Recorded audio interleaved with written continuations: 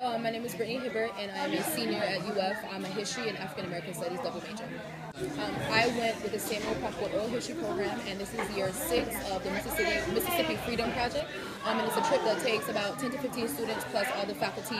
Um, we go down to the Mississippi Delta, and we do oral histories of oral um, uh, veterans from the civil rights movement. And we also talk to different members of different um, parts of the cities that we go to. Like we've been to Glendora, Rosedale, um, Sumner, Mississippi, McComb.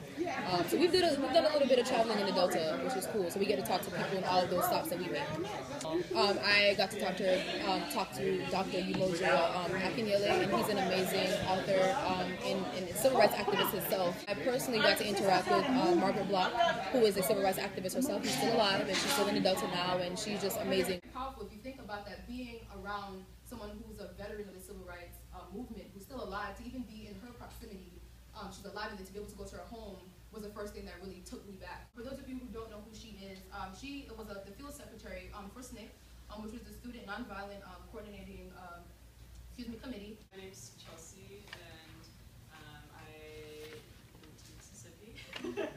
We spent even more time, I would say, traveling with civil rights veterans, including Margaret Block, um, uh, Professor Akinyele Umoja, um, who I talked about last night in my presentation. Um, people like that who um, who are some elders in the movement and um, and know a lot more than we do. Just kind of traveling with them through.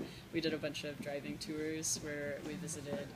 Um, we visited the courthouse where Emmett Till's uh, murderers were acquitted. We visited um, the town where Emmett Till was murdered.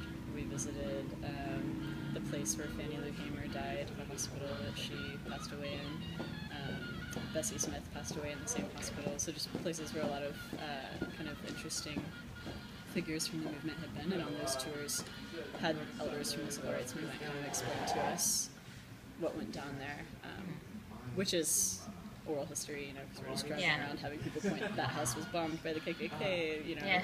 pastor so and so was shot right there.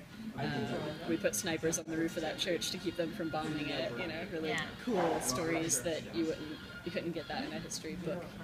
Maybe one of us will write a book one day about what we learned. History books are generally taught to develop good citizenry, whatever that means, and that's that you don't really challenge the system, that you don't critically analyze what's going on around you, that you accept the status quo because we're better than we were then, and it's this march towards progress that the United States, like, through time has become better, and now it's the best, so why challenge anything more? We're at a good place. That it wasn't just Rosa Parks not giving up her seat on the bus and then Martin Luther King saying the I have a dream speech and now everything's great. If it's not like this. You can kind of understand how such a diluted sentiment could come forward when it's just progress and now everything's fine.